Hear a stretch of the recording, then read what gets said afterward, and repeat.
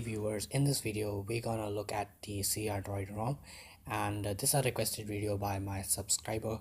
So buddy if you're watching it is a video on the CR Droid now this ROM is no exception but this ROM is the biggest exception from my all ROM review. This is one of the first ROM which I'm going to review which has so many features to talk about so let's get started.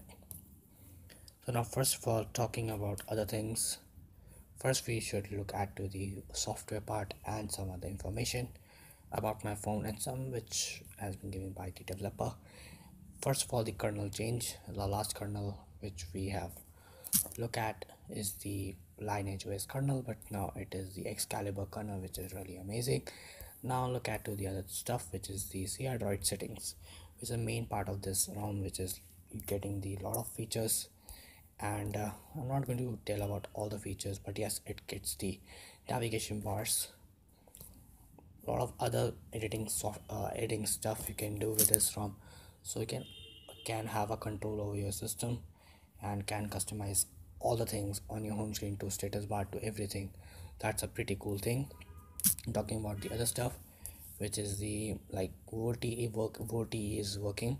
You can see I'm gonna die it's working perfectly. You can see connected. So it's working no problem with the VoLTE so now look at to the UI you get some like basic application with the Cyanogen mod launcher which is really really basic. Nothing special about it. Also comes with the color engine which is really good. I really like the color engine.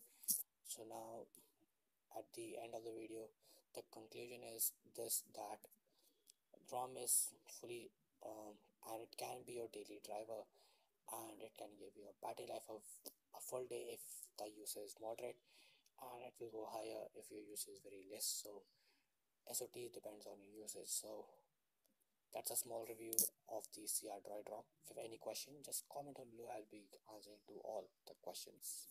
So thanks for watching. This is Manik and I'm signing off